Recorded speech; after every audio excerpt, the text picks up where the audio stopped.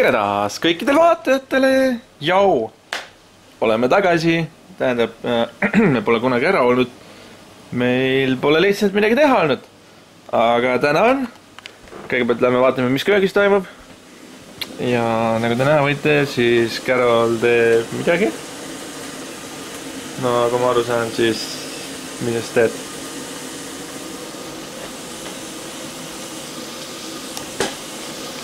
Carol teeb pitsat ja, ja meie nii kaua peame tegema muid asju. kõigepealt, nagu te näete, siis tuba on paras segadus. üritasin seda leevendada sellega, et tegin siia riiuli, aga sellest ei ole suurt kasu olnud, sest tuba on jätkuvalt segamini. aga ilmselt paar riiulit tuleb siia veel juurde tekitada, nii et jah. ja lisaks on meil täna mõned pakid, mõned suuremad, mõned väiksemad ja neid on tulemas veel. ja nende videotega kaasnevad hiljem veel lisavideod, sest seal on autojuppe, natukene selliseid minituuning asju, väikseid upgrade'e autole siis on seal automaatikamanti natukene ja siin on, siin on igasuguseid asju. küll on IT-stuff'i ja, ja siis on veel äh, igasugust muud värki. aga unbox ime need karbid ära ja vaatame, mis nendes sees on. nii, ja alustame siis kõige väiksemast pakist siin sees on, äh, noh, kohe näete, mis siin sees on. midagi super fancy't ei ole, tänapäeva standardite järgi loomulikult. aga mingi basement PC jaoks on see täiesti okei okay,, olgem ausad. ma arvan, et päris paljud juba saavad aru, mis siin sees võib olla. väga mitte antistaatiline, kenasti äh, WC paberi sisse vist mähitud või, või, või midagi. okei okay,, see on, see on köögipaber. väga antistaatiline, peaks ütlema. ja siin on selline asi, ma ei tea, kas te näete, kas see fookusesse läheb, aga tegemist on Intel Core kaks Quad protsessoriga kaks koma kolmkümmend kolm gigahertsi, mega neli mega äh, cache'i. Base clock, base clock on tuhat kolmsada kolmkümmend kolm või kolmsada kolmkümmend kolm. ja LGA socket seitse, seitse, viis. Ähm, mul on ka üks emoplaat, kus on praegu kahetuumaline protsessor E kaheksa tuhat viissada. aga paneme sinna selle protsessori siis saab natukene kiiremaks. ja siis kunagi tuleb ilmselt ka keldri PC ehitamine. nii et äh, sinna ma saan selle ära kasutada. ja kindlasti saab see päris okei okay olema, sest olgem ausad, netti keldris ei ole. muidugi võiks kaabli vedada, aga noh, jah. nii, ja nüüd siis järgmine pakk, mis on äh, veits suurem, ausalt öelda mul pole päris täpselt teada, mis siin sees võib olla. saatja on see. ma ei mäletagi, mis ma ta käest ostsin, aga nüüd ma tean. ma ostsin ta käest ühe siukse asja. ja nagu te aru võite saada, siis tegemist, tegemist, tegemist on voltmeetriga. ja see voltmeeter on päris, päris suur. Ähm, aastast tuhat üheksasada viiskümmend kolm. nii et see voolumõõtja on üle viiekümne aasta vana. nii et jah, kahjuks äh, tagumised ühendused küll on puudu, aga need saame alati juurde panna. ja selle seina kinnitus ma ei teagi, väga ei ole. aga jah, kui ma selle tööle saan, ma arvan, et võib-olla teeme isegi selle parandamisest väikese video, nii et äh, jääge sedagi ootama. kui me teeme selle, muidugi ma ei tea, ma võib-olla teen. nii et jah, ja ilmselt järgmine, järgmine köö, pakk on suhteliselt sarnane ja sellega seotud. enamus, ma ei tea, enamusele inimestele vist meeldivad digitaalsed asjad rohkem. aga kui jutt tuleb mingitest äh, näidikutest, siis analoogist ja shit for me. nii et siin on meil terve hunnik erinevaid analoogmõõtureid, täiesti tutikad, põhimõtteliselt new old stock.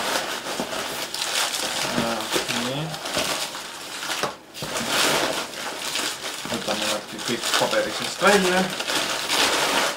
kõvasti ajalehti saadeti mulle nüüd jälle. vähemalt on korralikult pakitud. mingi asi katki ei läheks siin. nii, ma olen ühe korra veel tellinud mingi sellise suurema koguse neid.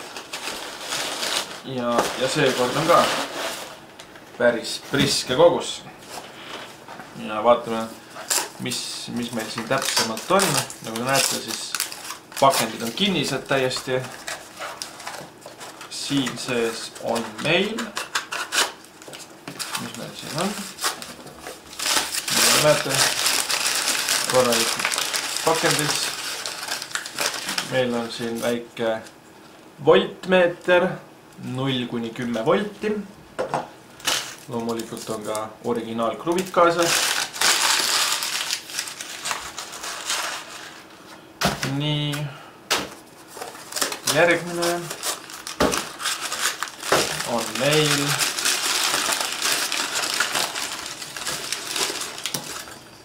ampermeeter, üks kuni kolm amprit. Järgmine on meil tegelikult on siia peale kirjutatud ähm,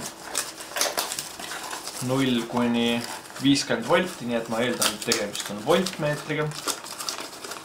kui ma selle siit ka kätte saaks, siis oleks mega lahe. aga mingil põhjusel ma ei saa seda normaalselt kätte siit. nii et tuleb käärid appi võtta. keegi on korralikult liimi pannud siin, et ma raudselt kätte ei saaks seda. Are you kidding me? Fine, I will do it the hard way. Like so.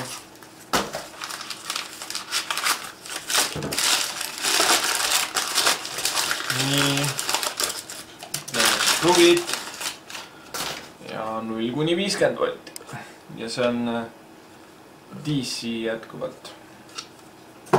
nii, järgmine on nagu ma pealt loen, siis tegemist on ampermeetriga ilmselt. kruvid jätkuvalt. väike ampermeeter, null kuni kümme volt, amprit. Carol naerab seal kõrval. huvitav küll, mille üle. nii, järgmine on, järgmine on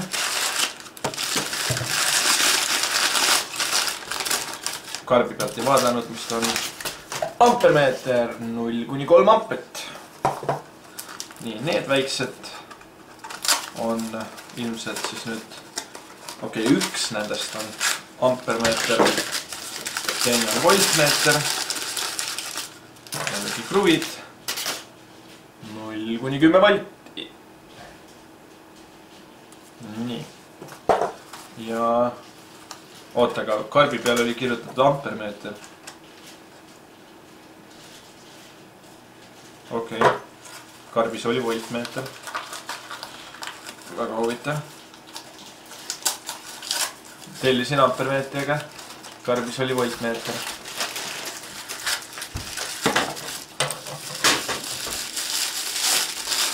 ja järgmine on meil jällegi kruvid. voltmeeter null kuni kolmkümmend volti. ja siis on viimane siin äh, mis see iganes ta ei oleks. ausalt öeldes päris täpselt ei tea.